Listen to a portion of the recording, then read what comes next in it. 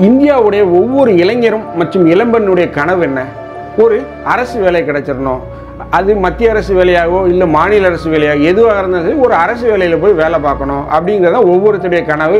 அதற்காக பல்வேறு இளைஞர்கள் மற்றும் இளம்பெண்கள் வந்து பல்வேறு கோச்சிங் சென்டரில் வந்து நாள் கணக்கில் ஆண்டு கணக்கில் தங்களை தயார் பண்ணிகிட்டு இருக்காங்க. ஏன் இவங்க அந்த அரசு வேலையில் மேலே இவ்வளோ கிரேஸு அதாவது பொதுவாக இந்த ஆசிரியர் பணி அரசு பணிக்கு ஏன் இவ்வளோ கிரேஸு ஏன் மக்கள் வந்து அரசு பணியை போய் சாடுறாங்க? அப்படின்னு பார்த்தீங்கன்னா ஒன்றுமே இல்லை உங்கள் எல்லாருக்குமே தெரிஞ்சது தான் ஒன்று பணி நிரந்தரம். இன்னொன்று வந்து சதிகளவு சம்பளம். மற்றும் வந்து பார்த்திங்கன்னா இதர சலுகைகள் மற்றும் பணப்பலன்கள் எல்லாம் பஞ்சப்படி பயணப்படி எல்லாமே இருக்குது தனியார் துறையில் உங்களுக்கு அந்த மாதிரி கிடையாது. பணி நிரந்தரம் கிடையாது. அதிக அளவு பணப்பலன்கள்லாம் கிடையாது. தனியார் துறையில் நினச்சா அவங்கள செக்யூரிட்டி கார்டை ஐடி கார்டை பிடிங்கிட்டு விரட்டி விட்டுருவோம் இப்படி தான் தனியார் துறையில் இருக்குது போராட்டம் அது இதுன்னு சொல்லி தனியார் துறையிலலாம் கூக்கரிலே போட முடியாது. சத்தம் போட்டு ஒரு வார்த்தை பேசினாலே அடுத்த மாதம் உங்களை ஆஃபீஸ் விட்டு வெளியே அனுப்பிச்சிருவாங்க. இது உங்களுக்கு தெரிஞ்சது. ஸோ இதன் அடிப்படையில் தான் பல்வேறு இளைஞர்களும் இளைஞர்களும் இந்த அரசு வேலையை நாடி சென்று கொண்டிருக்கிறார்கள். இந்த இளைஞர்களுடைய இந்த எண்ணத்தில் இடியை இறக்குன மாதிரி தான் இருபத்தேழு ஜூன் ரெண்டாயிரத்தி இருபத்தி நாலு அதாவது கடந்த ஜூன் இருபத்தேழாம் தேதி ஒன்றிய அரசு ஒரு சுற்றறிக்கையை அனுப்பிச்சிருக்கு. என்ன சுற்றறிக்கை அனுப்பிச்சிருக்காங்கன்னா அவர்களுடைய டிபார்ட்மெண்ட் ஆஃப் பர்சனல் ட்ரைனிங்கில் வந்து ஒரு சுற்றறிக்கையை ஒன்றிய அரசு கீழ் இருக்கக்கூடிய அனைத்து செயல்படக்கூடிய அனைத்து நிறுவனங்களுக்கும் அதாவது பொதுத்துறை வங்கிகள் பொதுத்துறை நிறுவனங்கள் எல்லாத்துக்குமே எல்லா கவர்மெண்ட் பேங்க்ஸ் எல்ஐசி என்னென்ன இருக்கோ எல்லாத்துக்கும் ஒரு சுச்சரிக்கை அனுப்பிச்சிருக்காங்க. அந்த சுச்சரிக்கையை பார்த்தீங்கன்னா ஒரு பயங்கரமான சுச்சரிக்கையாக இருக்குது அதில் என்ன சொல்லியிருக்காங்க அப்படின்னா எஃபிஷியன்சி இல்லாத அதாவது ஒரு எம்ப்ளாயி வேலை பார்க்குறாரு அந்த எம்ப்ளாயியால் குறித்த வேலையை குறித்த காலத்தில் செயல்பட முடியல செய்து முடிக்க முடியல. மேலும் அவரால் ரிசல்ட் கொண்டு வர முடியல. ஓபி அடித்து சுற்றிட்டு இருக்காரு கேன்டீனுக்கு சுற்றிடுறாரு ஆன் டியூட்டின்னு போட்டு ஏமாற்றிட்டு ஓடிடுறாரு அப்படின்னு இருக்கக்கூடிய எம்ப்ளாய்களை எல்லாம் ரிவ்யூ பண்ணுங்க. அதாவது தனியார் துறையில் இருக்கும் இல்லையா அப்ரைசல் ஒவ்வொரு வருடமும் உங்களுக்கு அப்ரைசல் கொடுப்பாங்க சம்பள உயர்வு கொடுப்பாங்க. அதே மாதிரி அவர்களை ரிவ்யூ பண்ணுங்க. அவர்களால் ஏன் வந்து அந்த ரிசல்ட்டை கொடுக்க முடியல எஃபிஷியண்ட்டாக வேலை செய்ய முடியல அதை ரிவ்யூ பண்ணுங்க. இவர்களை வைத்து கம்பெனிக்கு பலன் இருக்கா நிர்வாகத்திற்கு பலம் இருக்கா இவர்களால் தொடர்ந்து ரிசல்ட் ஓரியன்டாக வேலை செய்ய முடியுமா அப்படின்னா வச்சிருங்க. இல்லை என்றால் அவர்களை ப்ரீமெச்சூர்டு ரிட்டையர்மெண்ட் அதாவது முன்கூட்டியே அவர்களை வந்து ஓய்வு கொடுத்து ரிட்டையர் பண்ணி அனுப்பிச்சிருங்க. அதற்கு மூன்று மாதம் மட்டும் நீங்கள் நோட்டீஸ் கொடுத்தால் போதும். மூன்று மாத நோட்டீஸ் அல்லது மூன்று மாத சம்பளம். ரெண்டுமே கொடுப்பாங்க. மூணு மாதம் நோட்டீஸ் கொடுத்துட்டு மூணு மாதம் சம்பளம் வாங்கிக்கலாம். ப்ளஸ் உங்களுக்கு ரிட்டையர்மெண்ட் உள்ள benefits ESI PF commutation amount எல்லாமே வரும்.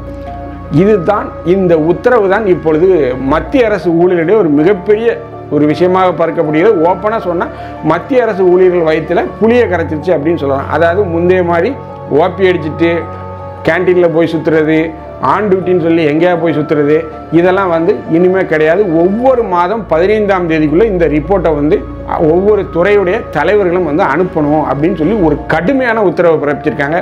அப்படி அந்த உத்தரவில் என்ன இருக்குது அதைத்தான் நம்ம இந்த நிகழ்ச்சியில் பார்க்க போகிறோம் நான் உங்கள் ஜோசப் வாங்க நம்ம இப்போ நிகழ்ச்சிக்குள்ளே போகலாம்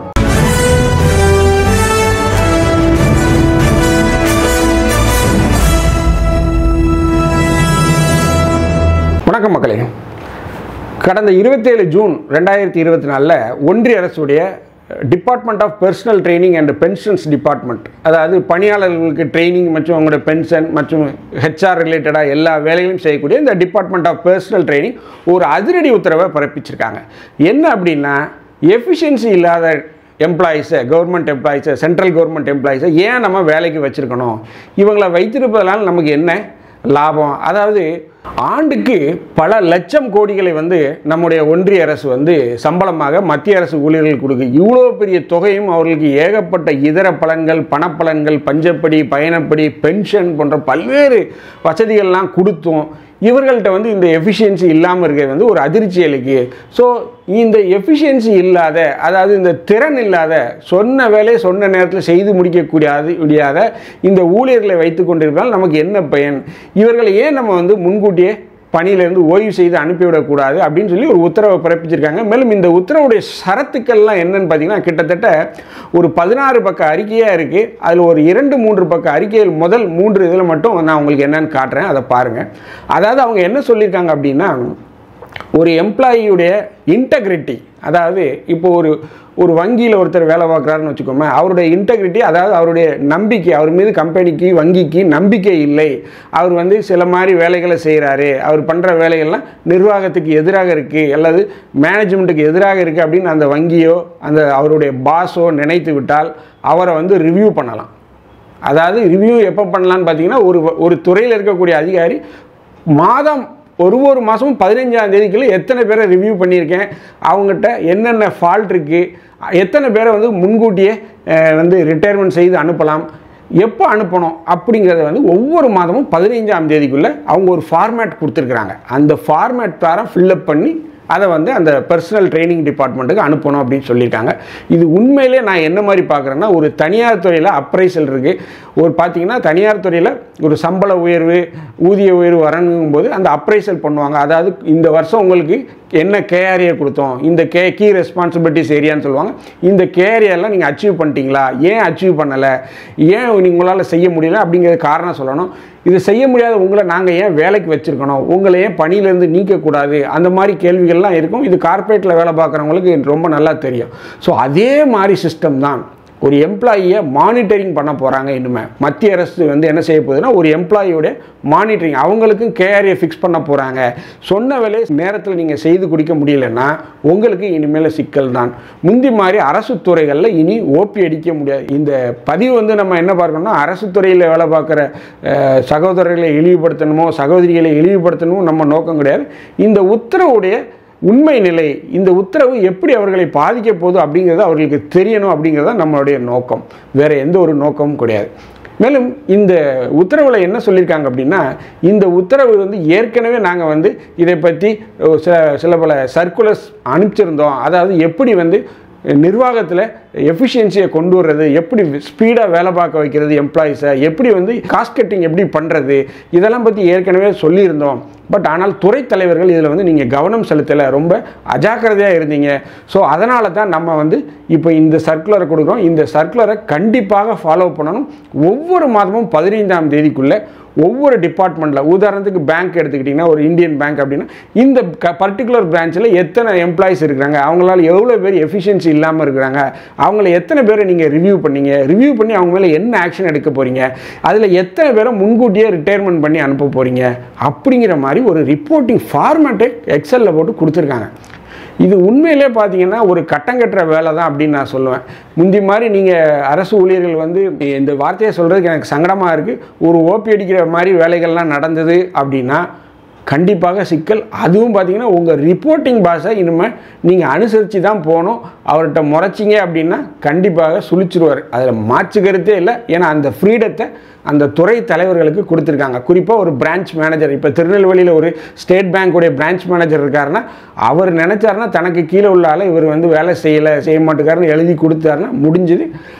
அதை வந்து கோர்ட்டுக்கெலாம் கொண்டு போக முடியாது அப்படின்ட்டாங்க. ஏன்னா கோர்ட் வந்து இது வந்து ஒரு ஜிஓவாக போட்டிருக்காங்க. இது வந்து it is passed as a GO so அதனால் இந்த நிர்வாக இதில் வந்து உச்ச நீதிமன்றமோ உயர்நீதிமன்றமோ பொதுவாக தலையிட மாட்டாங்க. மேலும் இது வந்து பொதுநலன் கருதினா நாங்கள் இதை செய்கிறோம் அப்படிங்கிற ஒரு வார்த்தையை வந்து அரசு சேர்த்துருக்காங்க.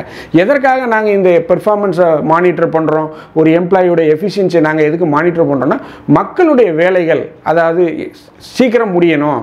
அதற்காகத்தான் நாங்கள் இதை செய்கிறோம் பொதுநலன் கருதி தான் நாங்கள் இதை செய்கிறோம் மேலும் ஒரு எம்ப்ளாயியை முன்கூட்டியே வந்து நாங்கள் வேலையிலேருந்து ஓய்வு கொடுத்து அனுப்புகிறோன்னா அதுவுமே பொதுநலன் கருதி தான் அப்படிங்கிற வார்த்தை.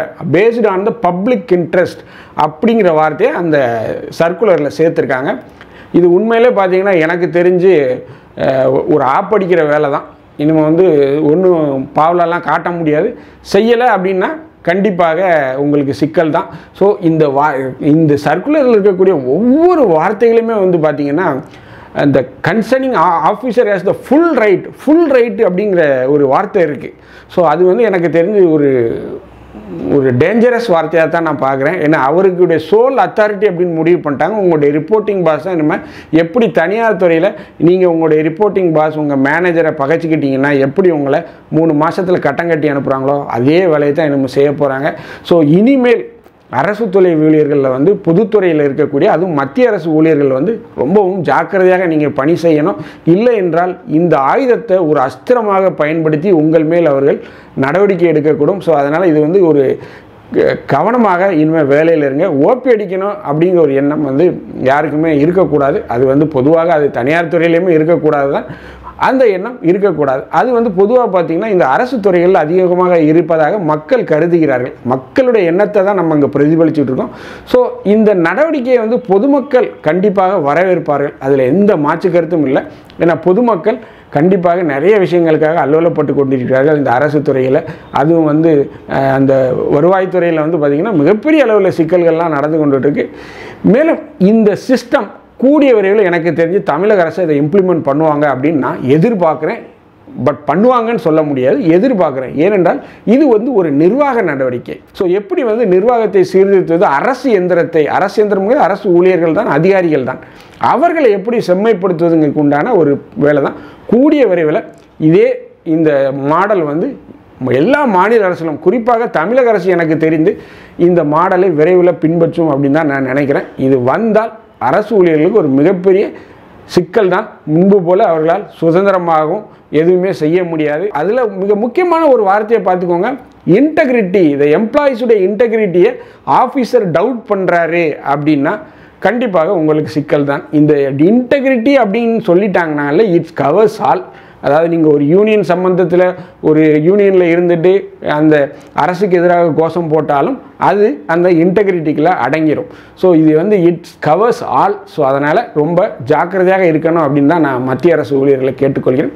இந்த பதிவு வந்து பார்த்திங்கன்னா ஒரு விழிப்புணர்வு பதிவு தான். இது ஏன் இதை நம்ம போடுறோன்னா ஏன்னா ஒரு அரசு ஊழியர் அப்படிங்கிற ஒரு அந்தஸ்து அடைவது வந்து எல்லாராலையும் இன்றைய சூழ்நிலையில் முடியாது. ஒரு அரசு வேலை கிடைப்பதுங்கிறது எல்லாராலையும் முடியாது. அது வந்து ஒரு மிகப்பெரிய விஷயம். ஸோ அப்படி பெற்ற அந்த வேலையை நீங்கள் வந்து பாதுகாத்து கொள்ளணும். ஸோ அதற்காகத்தான் இந்த பதிவு. இந்த வீடியோ உங்களுக்கு பிடிச்சிருந்துச்சுன்னா தயவுசெய்து லைக் பண்ணுங்கள் ஷேர் பண்ணுங்கள் சப்ஸ்கிரைப் பண்ணுங்கள் மறக்காமல் உங்கள் கருத்துக்களை கமெண்ட் செக்ஷனில் சொல்லுங்கள் நன்றி வணக்கம்.